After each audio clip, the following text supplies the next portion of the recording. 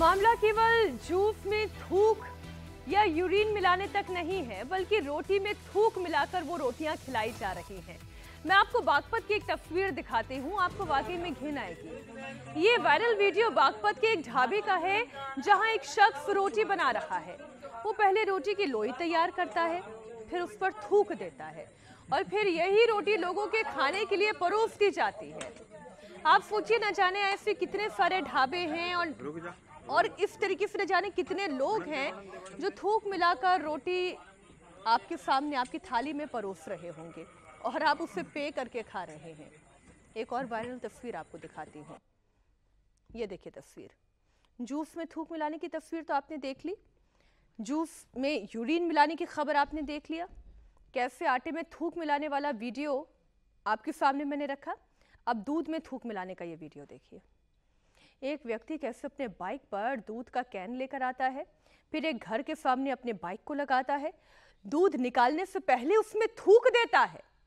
और फिर यही दूध पूरे घर वाले पीते होंगे? घर के बच्चे पीते होंगे? घर के बुज़ुर्ग पीते होंगे? हो सकता है यही दूध ही तो पंचामृत बनाकर भगवान के भोग में भी चढ़ाया जाता हो।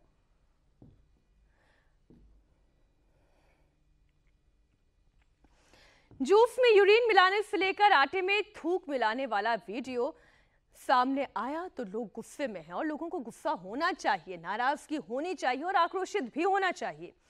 इस वीडियो ने हिंदू समाज को एक कर दिया है और इसके खिलाफ लोनी में महापंचायत बुलाई गई है। इसमें शामिल लोगों ने ऐसे लोगों के खिलाफ कड़ी कार्रवाई करने की मांग की और कहा कि जो लोग दूसरों का धर्म भ्रष्ट करते हैं, उन्हें फांसी होनी चाहिए। आपको यकीन है कि ये फैसले लागू भी हो लागू भी हो पाएँगे और इनका असर दिखेगा समाज और में विधायक एक बात और लागू हो पाएँगे नहीं हो पाएँगे लेकिन लागू होना चाहिए। आप विचार कीजिए कि मनुष्य सबसे ज़्यादा स्वस्थ जब रहना चाहता है हमको कहा जाता है बर्गर मत खाओ पिज्जा मत खाओ ये उल्टी सीधे चीज़ें मत खाओ। क्या कहा जाता है जूस पियो लेकिन आप विचार करो कि अगर जूस में भी मानव मूत्र जैसी चीज़ अन्य चीज़ों को आदमी एक बार को स्वीकार भी कर ले। लेकिन मानव मूत्र जैसी चीज़ तो स्वीकार्य नहीं हो सकती। तो मानव मूत्र अगर पिलाया जा रहा है तो आज पंचायत का मुद्दा यही था कि इनका बहिष्कार किया जाए जो लोग ऐसा कृत्य कर रहे हैं। कुछ चीज़ें नज़र आएगी? क्या आपको जो भी बातें कही गई किस तरह की चीज़ें? नहीं जो यहाँ महापंचायत में सभी लोग जो यहाँ आए हैं सबने अपनी बात रखी कि जो व्यक्ति इस तरह की हमारे धर्म को भ्रष्ट करने के लिए इस तरह की जो प्रवृत्ति कर रहे हैं उनको समझाना चाहिए।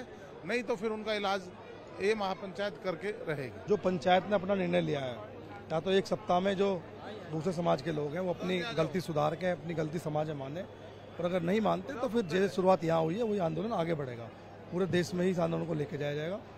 ऐसा ही मेरा मानना है। क्या समझ आया और क्या लगता है कि ये तमाम चीज़ें रुकेगी? हम हम लोगों ने संत लोगों की बात सुनी।